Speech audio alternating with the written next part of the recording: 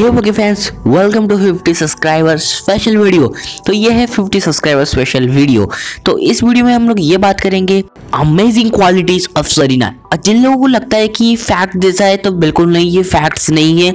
मैंने कोई भी वेबसाइट से कुछ भी सोर्सेस नहीं लिए हैं। मैंने टोटली कालो सीज़न बहुत बार देखने की वजह से मुझे कुछ याद था और मैंने फिर से रीवॉच किया और सारे डाटा मैंने कलेक्ट किया है।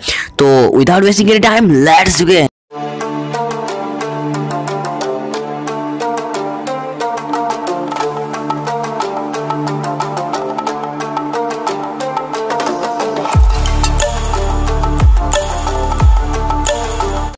quality number one quality number one ये है एवरीथिंग नीट एंड क्लीन रखना। सही ना, बहुत ज़्यादा नीट एंड क्लीन है। तुम लोगों को पता होगा कि वर्ल्ड वाइड कैसा टाइम में भी चल रहा है और नीट एंड क्लीननेस बहुत ज़्यादा ज़रूरी है।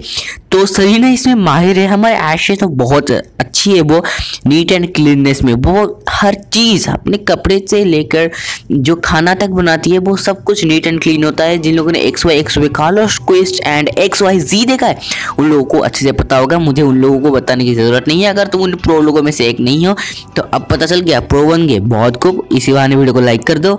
तो बढ़ते हैं हम अपने सेकेंड क्वालिटी की ओर। तो second quality make wonderful Pokemon food जैसे हम पोकेमोन पॉफिन जो सीनो में हमें बताया गया था, वो इस तरह से नहीं है। उसे गई पोके पप कहा जाता है और मुझे नहीं पता वो कैसा लगता है, लेकिन पोकेमोन को अच्छा लगता है मतलब डेफिनेटली कॉपी लेवल का होगा। एस के पिकचू को से ब्रोक का खाना क्लेमोन का खाना, और हमारे उसका नाम क्या था? साइलेंट का खाना। इन सब का ही अच्छा लगता है, और सरीना का पहली बार अच्छा लगा, जो कि अमेजिंग बात है मतलब सरीना का खाना टेस्टी होगा, लेकिन हम ज़िंदगी में कभी खा नहीं पाएँगे तो इस दुख को मैं समझ सकता हूँ। तुम लोग कैसा समझ रहे होगे? और सच बताऊँ तो ये क्वालिटी भी काफ़ी ज़्यादा कमाल का है, जो कि डेफिनेटली हमारे ऐश को बहुत ज़्यादा मदद करता है। अगर ऐश ने को वेट करता है तो बढ़ते हैं हम अपने थर्ड क्वालिटी की ओर। तो थर्ड क्वालिटी ये है, अपनी गलतियों से सीखना, जो कि मतलब लिटरली हम सबको सीखना चाहिए हमारी गलतियों से। और सरीना ने इसे करके दिखाया, इसीलिए मतलब दो ही सीज़न में इसने पूरा किल लेवल का परफॉर्मेंस दिखा है।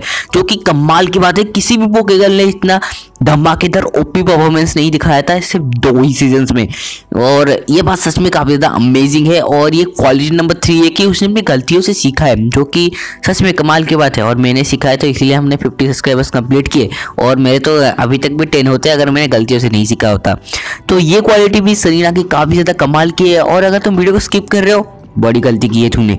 तो इसलिए कि तुम्हें सब्सक्राइब भी करना पड़ेगा। तो बढ़ते हैं अपने फोर्थ क्वालिटी की ओर। तो फोर्थ क्वालिटी सबका केयर करना, बिल्कुल, ये क्वालिटी बहुत ज़्यादा इंपॉर्टेंट है और हम सबको भी सीखना चाहिए ये क्वालिटी कि सरीना क्लेमोन बोनी पिकाचू टिडेने हमारा हीरो ऐश और जितने भी पोकेमोन हैं, सबके बहुत अच्छे से केयर करती है, जो कि काफ़ी ज़्यादा अमेजिंग बात है, जो कि Pokemon performer Pokemon coordinator and Pokemon trainer के पास होना ही चाहिए, वरना तुम पोकेमोन ट्रेनर कहना के लायक ही नहीं हो। और यहीं पर वीडियो ख़त्म हो जाता है। लेकिन कुछ बातें मुझे और भी बतानी है। जैसे कि 50 सब्सक्राइबर्स के बाद 100 सब्सक्राइबर्स एक बहुत बड़ा माइलस्टोन होने वाला है, जो कि हम लोग ज़रूर अचीव करेंगे, जो कि मुझे पता है। और ये वीडियो काफ़ी ज़्यादा लेट आ रहा है। इसका डेफिनेटली रीज़न ये है कि मेरे स्कूल्स पूरी तरह से खुल चुके हैं। और मेरा मतलब छः घंटे मेरे कहाँ ही चले जाते हैं, मुझे पता भी नहीं चलता।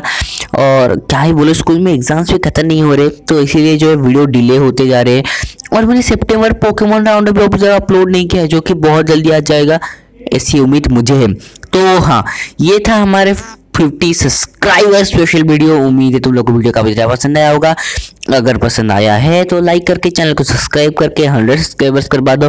100 सब्सक्राइबर्स में मैं सोच रहा हूँ Q N and face reveal भी कर भी दो। तो हाँ आज के वीडियो के लिए बस इतना ही तो मिलते हैं अपने नेक्स्ट वीडियो में, तब तक के लिए शाइनिंग आउट